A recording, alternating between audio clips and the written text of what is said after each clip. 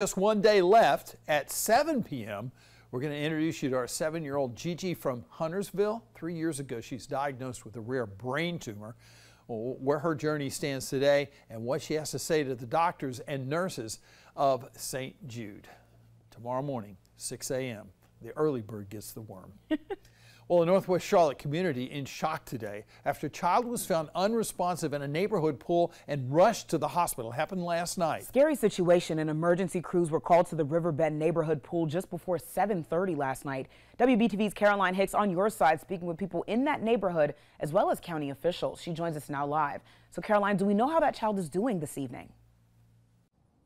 Well, Siobhan, tonight we are working to learn how that six-year-old boy is doing. At this point, all we know is he was rushed to the hospital by medic with what they are calling life-threatening injuries. Now, you can see by this sign outside of the pool that they do not have any lifeguards this season. Tonight, I'm speaking with county officials about what they are trying to do to ensure tragedies like this one do not happen.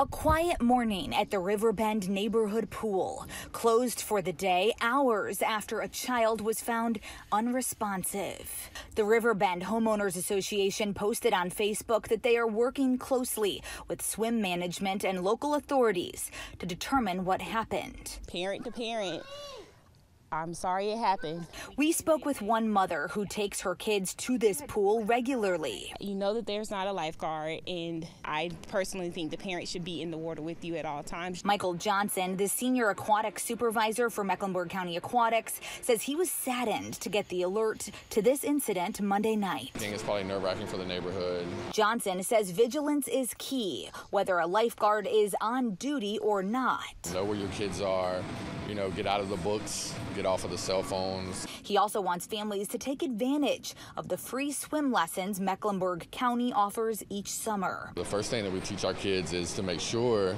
that they're asking for permission to enter the water. He also recommends bright colored clothing, a Coast Guard approved flotation device, and eyes on your kids at all times. So a person can, can go into distress in less than 10 seconds and they can submerge in less than 20.